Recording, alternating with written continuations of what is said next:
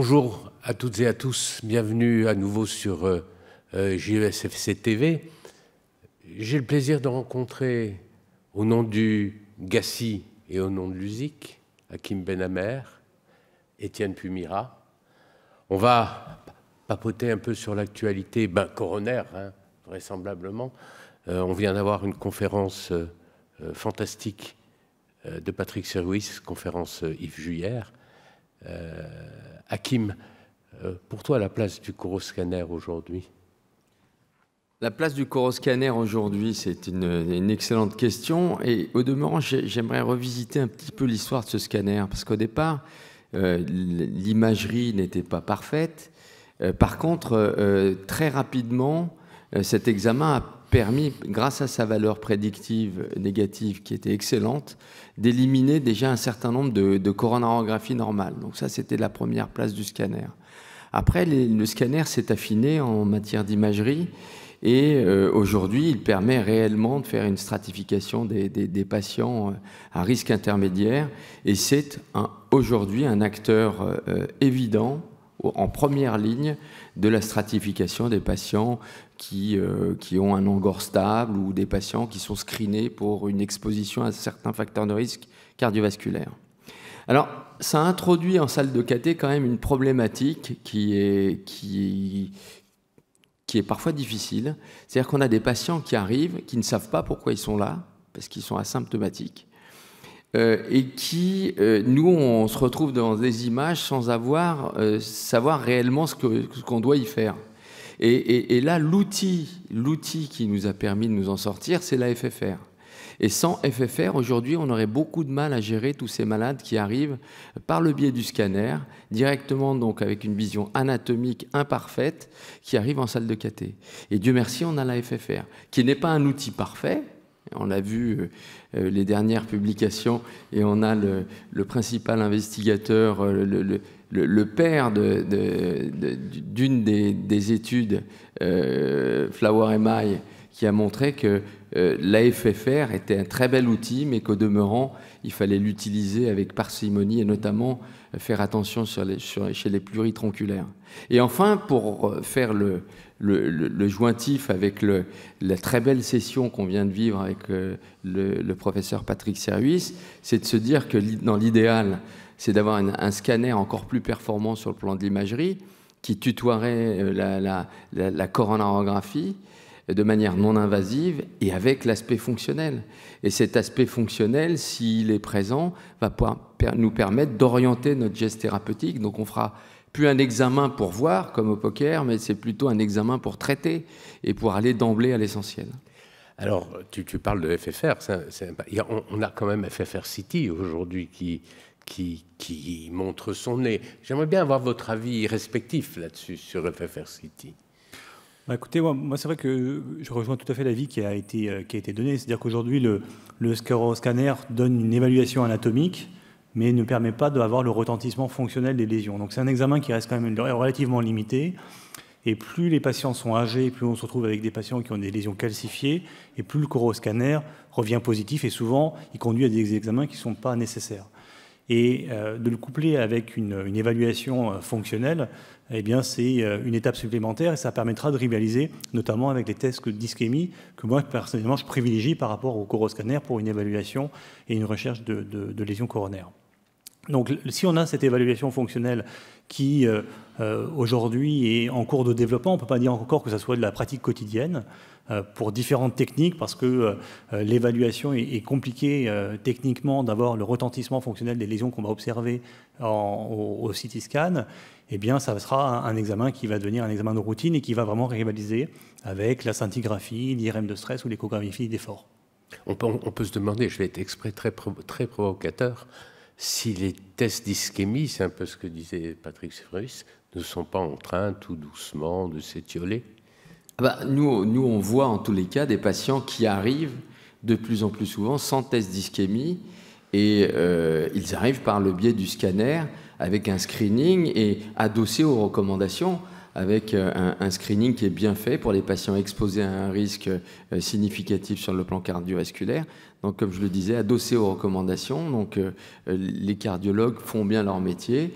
Et, nous, en demeurant, on est parfois confrontés à des problématiques dont la solution passe très souvent par la FFR. Donc, quand, on va coupler, parce que je, partage tout à fait le, la vie d'Étienne, aujourd'hui, ce n'est pas notre quotidien, hein, le, FFR City, c'est l'avenir proche, mais ce n'est pas notre quotidien, bien évidemment. Donc on va, on va vers effectivement une appréciation non invasive de euh, euh, l'aspect fonctionnel des, des, coronaires. C'est toujours tributaire d'envoyer un CD aux États-Unis, de payer assez cher et d'attendre le résultat Alors on peut le faire aussi bien avec une coronarographie qu'avec un, scanner, puisque c'est un algorithme, c'est mathématique et, qui permet de, de, de, trans, de, partir d'une image, de la cadence d'une image, et d'en faire euh, une, un profil hémodynamique. Et malheureusement, comme euh, tu viens de le dire, c'est une société euh, qui fait ça, et donc on ne peut pas faire ça en live, et puis aujourd'hui, ça, ça, revient cher. Alors, tu, tu, parles de ces patients qui, à la suite d'un scanner, vont se retrouver sur une table de coronarographie. sans trop savoir pourquoi, parce qu'ils n'ont pas. Est-ce que c'est pas finalement un espèce de biais d'utilisation, notamment du score calcique, qui n'est pas un coroscanner mais qui va montrer potentiellement des lésions importantes? Alors, pour, pour, refaire un peu l'historique, le score calcique, on le faisait initialement pour éliminer ceux qui avaient un score d'Agaxton qui était trop élevé euh, pour euh, être injecté. Donc aujourd'hui, on, fait, grâce euh, aux performances des scanners, on fait même pour les patients qui sont très calcifiés. Mais c'est vrai que le score calcique est un élément qui permet de stratifier grossièrement ce risque cardiovasculaire, grossièrement, je dis grossièrement, parce que c'est vrai que ce n'est pas toujours vrai, et notamment chez le sportif, où les calcifications coronaires semblent ne pas être, le score calcique n'est pas un élément de, stratification. Absolument. Ouais. Et donc, et donc c'est déjà un premier aspect du, de, la, de la stratification. Et après, grâce aux performances du scanner, on arrive à avoir une, des quantifications euh, relativement précises des, lésions coronaires. C'est ça, mais au-delà au delà de 1000, au-delà de... Euh, je, rajouterais que ça s'adresse à des patients en prévention primaire, Absolument. et donc pas à l'ensemble de la population. Bien sûr, bien sûr. Bien sûr. Euh, en prévention primaire ou à, ou à, haut risque, comme les diabétiques, haut risque, hein, notamment. mais à partir d'un certain score calcique, on se demande s'il ne faut pas aller directement à la coronarographie. On, beaucoup, on est beaucoup à dire au-dessus de 1000, il faut se poser des questions.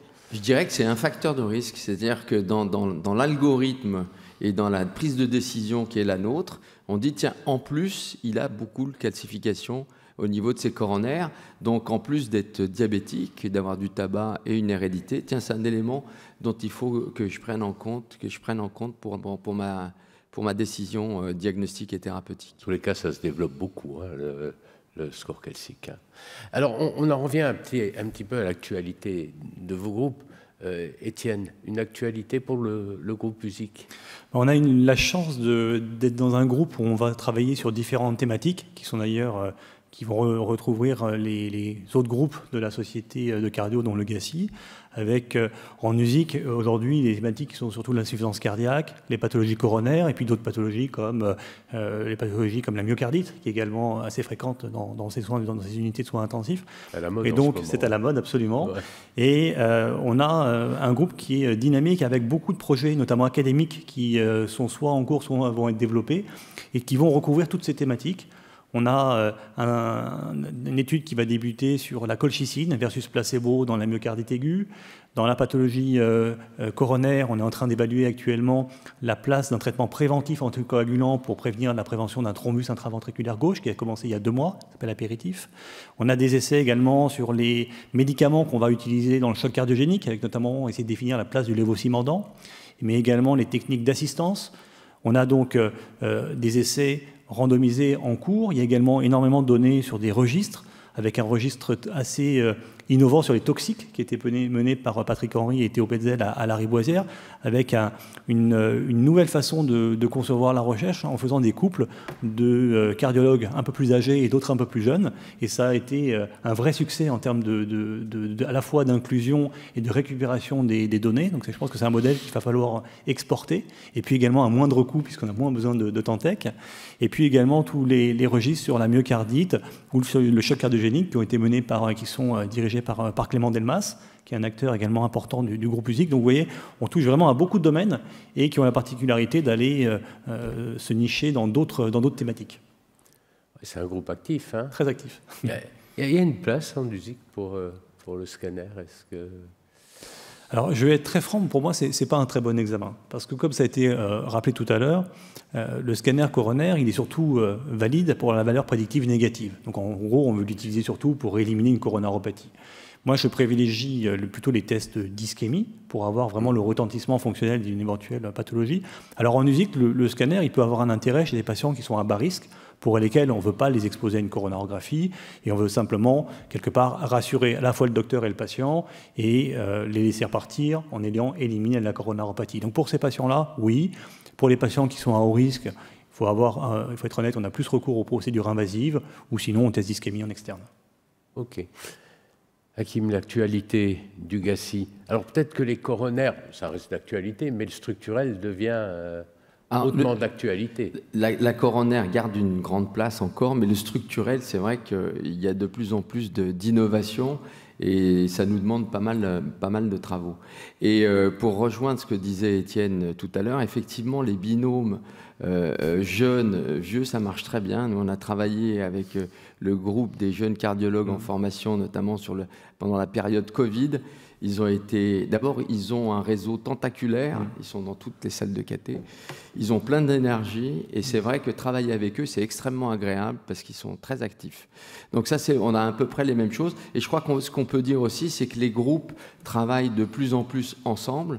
Euh, d'ailleurs, dans nos pratiques, euh, les staffs multidisciplinaires sont euh, dans toutes les recommandations et euh, dans toutes les, sous-spécialités, rythmologie, cardiologie interventionnelle et autres.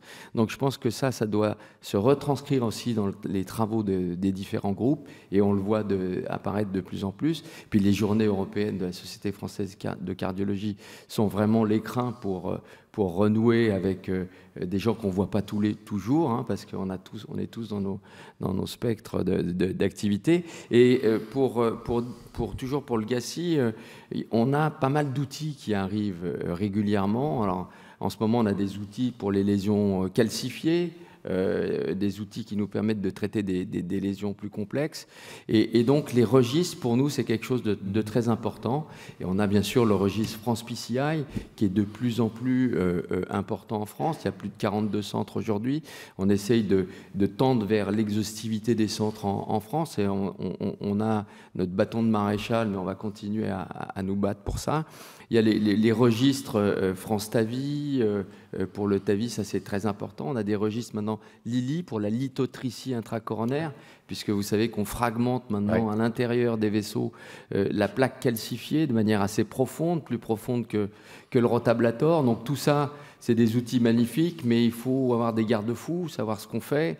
Et, donc les registres, ça, ça prend une partie importante euh, du rôle du GACI, les organiser, les suivre et faire en sorte qu'ils soient de, qualité. Donc tout ça, et qu'ils soient menés à bout, c'est-à-dire avec des publications. Donc tout ça, c'est du travail, un travail passionnant, un travail de partage et, et, qui se fait euh, dans, des groupes euh, souvent très dynamiques et agréables. C'est vrai que c'est un des, un des objectifs fondamentaux au sein de la SFC que, que, que de promouvoir ces, ces registres. Bien sûr. Hein, c'est une commission extrêmement euh, active et puis euh, euh, dont on s'occupe de manière importante. C'est un impact scientifique, mais c'est un impact budgétaire également important. Il faut, faut, faire vivre ces registres. Quand on veut aller voir les tutelles, pour pouvoir discuter avec elles, il faut connaître la littérature, mais il faut avoir des registres. Ah Parce que la littérature étrangère, c'est intéressant, mais ils veulent savoir ce qu'on fait nous. Et si on n'est pas adossé à des registres bien faits, euh, on n'a pas l'écoute des tutelles. Et c'est ce qui me paraît tout à fait légitime. Euh, Qu'est-ce qu'il y a comme session, Étienne, à retenir ici pour euh, euh USIC dans le cadre du Alors, congrès c'est un peu compliqué parce que l'USIC est, est, euh, est, mixé un petit peu dans, dans l'ensemble du congrès, puisque, euh, comme je vous ai dit, l'insuffisance cardiaque, les pathologies coronaires, on peut envisager également les pathologies structurelles, on, on peut être niché dans toutes les sessions, donc c'est un petit peu difficile. je voudrais revenir quand même sur un, un, un événement qui a été un gros succès, euh, puisqu'on en donne l'occasion euh, par cette, euh, cette émission. C'est le, congrès qu'on a organisé du, groupe USIC, qui a eu lieu le, début décembre de 2021, qui a réuni quasiment 700 personnes. C'est un congrès qui a une particularité de cibler plutôt les jeunes, qui sont des internes, des chefs de clinique et des jeunes PH, en faisant des, parcours qui sont euh, parcours plutôt usiques, parcours plutôt réanimation et parcours urgentistes. Et donc on va inviter des réanimateurs, des urgentistes, finalement des, acteurs qui euh, travaillent et qui gravitent autour des soins intensifs. Et cette année, on a pris comme parti également d'inviter la filière gériatrique parce que bah, la cardiologie, euh, nos patients vieillissent, on a de plus en plus de thématiques de sujets âgés, et il nous a semblé important de les intégrer avec nous, et donc on a fait une thématique également euh, gériatrie, et on va comme ça, au fur et à mesure, inviter des, des, filières différentes des nôtres pour pouvoir échanger, partager, toujours avec le même esprit, avec de, de, faire présenter les jeunes et d'avoir des gens qui ont plus d'expérience, un peu plus âgés, qui reprennent un petit peu les, points forts hein, de, dans, les, dans, les, différentes thématiques. Donc ça, c'est un, un, point qui est très important. Le prochain congrès aura lieu en décembre 2022. Il aura lieu, euh, on a déjà déterminé la place, ça sera comme cette année à Issy-les-Moulineaux, au, congrès, au Palais mmh. des Congrès. Et euh, je pense que ce sera une, un point important à noter pour l'année prochaine. Oui, je, je, retiens que ce congrès était quand même euh, le premier, je crois, à être présentiel à mmh. nouveau. Et puis je retiens aussi de ce que vous dites tous les deux, c'est l'importance de ce mariage intergénérationnel. Je vais chercher tout de suite un cardiologue plus âgé que moi pour, pour travailler avec lui. Excellent. Allez, l'article ou les articles, les deux articles qui dans l'année qui viennent de s'écouler ont, ont, marqué de manière... Euh, Alors, moi, je... il y a Master DAPT, qui est une étude qui est très bien faite, euh, qui est vraiment dans le sens du vent parce que elle met en évidence qu'avec les progrès des stents qui ont été réalisés, parce qu'on a parlé des molécules, c'était une véritable révolution. Hein, quand, euh, quand Marie-Claude Maurice a présenté la première étude, hein, l'étude Ravel avec le sirolimus, c'était une véritable révolution. Donc on, a continué à progresser. C'est toujours des limus, hein, souvent du, sirolimus, mais c'est surtout que les plateformes euh, se sont améliorées. Et pourquoi je dis ça? C'est qu'il y a une implication directe pour le bien du patient, c'est que l'endothélialisation de, de la prothèse se faisant beaucoup plus rapidement, eh bien, on a euh, des durées de, de bithérapie antiagrégante plaquettaire qui se réduisent, qui se réduisent considérablement. Et comme on a fait beaucoup de progrès pour la, gestion du risque ischémique, eh bien, le risque hémorragique nous est apparu comme au premier plan. Et grâce à ces nouvelles plateformes, ces nouveaux stents, eh bien, on arrive à réduire de manière très significative euh, chez ces patients à haut risque euh, hémorragique, qu'on a appris d'ailleurs à à, définir, parce que ça aussi, on avait une approche qui était très globale, très approximative. Aujourd'hui, le cardiologue interventionnel, il met son stent, mais il, se pose d'abord la question de savoir quel type de stent il va mettre, parce que le patient a un risque hémorragique plus élevé, parce que le risque ischémique est, plus derrière nous, euh, je pense. C'est ce qui implique aussi les stratégies antithrombotiques euh, adéquates et qui, qui se compliquent d'ailleurs euh, de manière assez importante. Étienne il est passé en premier, hein, maintenant. C'est plus dur. C'est plus dur de trouver l'article. Il a toute la littérature en tête. Je, devais en donner, il doit en donner un, deux, c'est un seul? Un ou deux je, vais, je vais euh, être un petit peu chauvin et euh, je vais donner l'article de Flower Email. Euh, non pas parce que je l'ai coordonné, mais parce que j'ai trouvé que c'était un, un, vrai, une vraie succès en termes de, de motivation des troupes. Parce que c'est vrai que d'inclure 1200 infarctus euh, en l'espace de 18 mois. Euh, je crois que tout le monde a vraiment euh, accroché sur l'essai, sur qu'il y a eu vraiment une, émulation dans les inclusions, dans la motivation des, centres. Et ça a été un plaisir de travailler avec l'ensemble des centres parce que justement, il y a eu cette, ce, travail, cette, ces échanges. Et, donc, je garderai cette étude surtout pour ça, mais également parce que ça montre aussi des résultats qui sont un peu contradictoires avec les résultats qu'on a sur la FFR, qui remettent un petit peu en place, en tout cas, en doute l'utilisation systématique de, de la FFR, et qui d'ailleurs sont des résultats qui ont été un peu confortés par les études anglaises récentes qui ont été présentées à l'ESC, où là encore, d'un point de vue plutôt médico-économique, qui est, c'était l'objectif principal de, l'étude, a remis un petit peu en, question la place de, la FFR, avec euh, également au niveau de la morbimortalité, finalement pas tant de, bénéfices que ça. Donc ça a ouvert un petit peu la, porte à la discussion de la place de cette technique qui jusqu'à présent était euh, euh, pas, pas discutée. Ok. Il faut faire son autopromotion. Voilà, exactement. C'est encore une fois une belle étude. Je crois qu'on arrive tout doucement au terme de, de cette édition. En tous les cas, euh, merci à, tous les deux. Au revoir à toutes et à tous, et puis euh, à bientôt sur euh, la JESFC TV. Bonne soirée.